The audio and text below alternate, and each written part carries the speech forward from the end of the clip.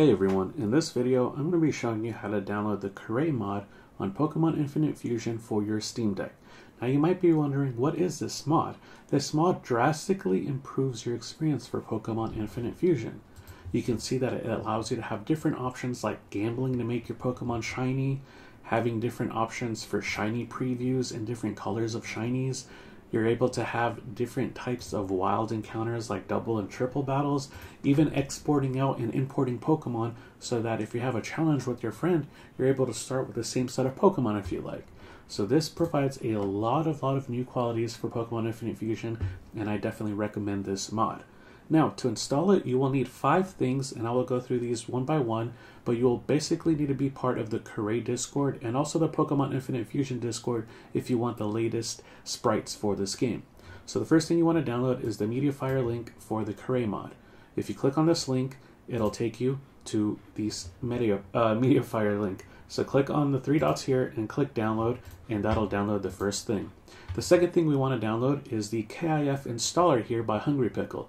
Go ahead and click this in Discord, hit continue to download, and you are good. The next thing you want to do is go over to the Pokemon Infinite Fusion Discord, go to the downloads channel, and click on the October Sprite Pack because we want the latest Sprite Pack. Right now it has the August or September Sprite Pack for the Kuray mod, so we just want to update it to the October. Now that we have those three things set up, the last two things we want to set up are from the Discover Store on your Steam Deck. So open up the Discover Store and in the top left here, type in Qt. And we will want to install Proton Up Qt. So go ahead and click on the install button. Right now it says remove for me because I already have this installed.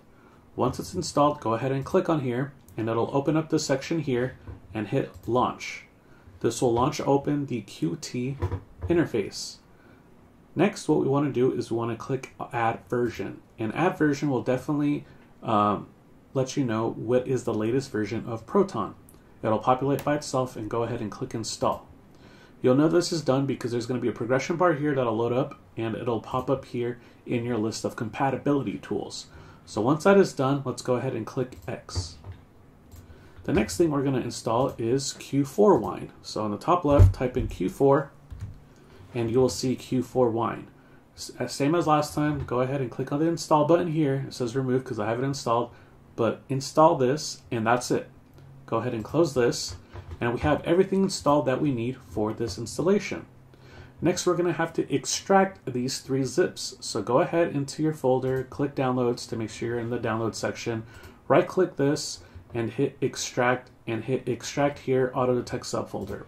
Do the same exact thing for these other zip files. I'm not actually doing it because I already have these extracted. So I just wanted to let you know the process of doing that. And we will have these three folders.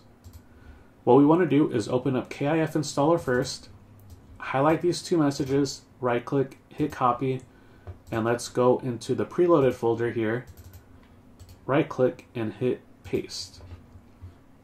Go back to your downloads folder and we're going to go to the sprite pack. Go ahead, right click custom battlers, hit copy, go back into your preloaded folder, go to the graphics folder, right click, and paste here. Next, you want to hit apply all and hit write into. And this is just going to override any of the sprites that you might have had that they would, they would have updated with the October Sprite Pack. And then now we are almost done. The next thing I want to do, and what I like to do, is I like moving this folder here into my desktop just because normally that's where all my games are for Steam Deck. So let's move it here. It's not a requirement or anything like that. I just prefer it, my folders being here. And the next thing we want to do is we want to go ahead and apply the KIF mod. So let's go to the installer update.batch file, right click, hit open with, hit other applications, go to the system section, scroll down and you will see Q4 Wine, which we just installed, and hit OK. Next, we're going to go ahead and hit OK, and it's going to start running this batch file to start installing the KIF mod on top of the Pokemon Infinite Fusion files. This will just depend on the internet speed and your stability of your internet for the installation.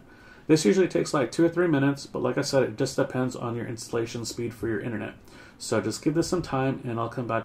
Once it is done, you will get this installation thank you message here at the bottom, but you will notice there are two errors. We're going to ignore these for now because of the nature of running this on Steam Deck. You'll get these two errors, and it's actually fine because you see right here it says updating files 100% done, and that's the important part here.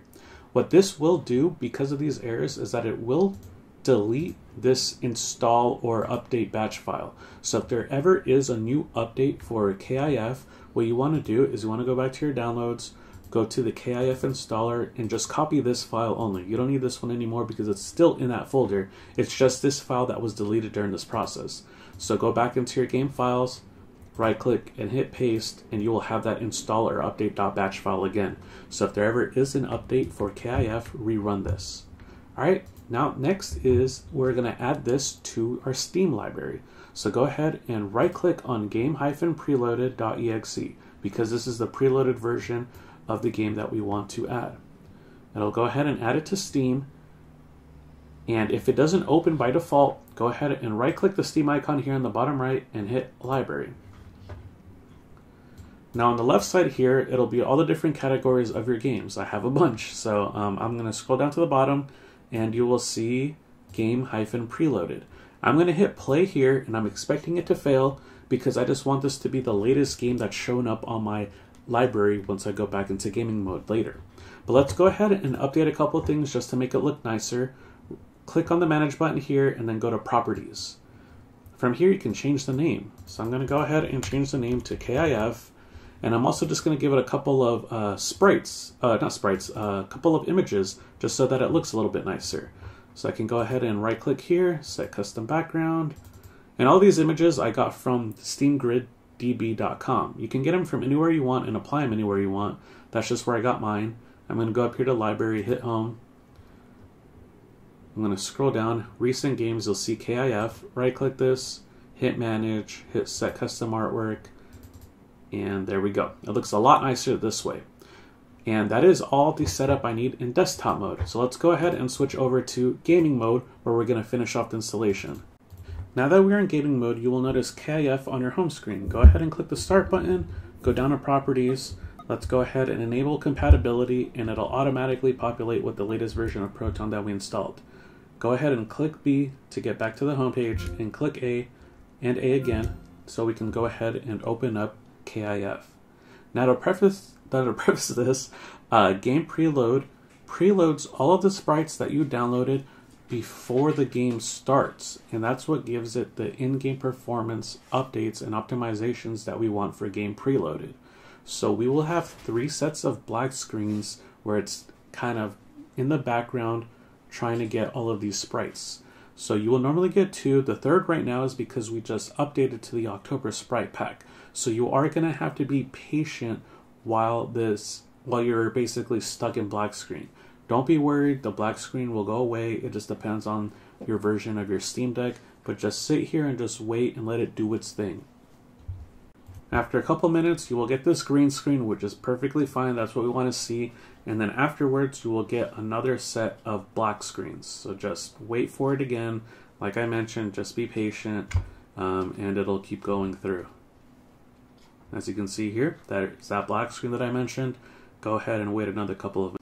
After a couple of minutes, you'll get the intro video and you will see the Pokemon Infinite Fusion intro and it'll say here the Kuray Infinite Fusion mod.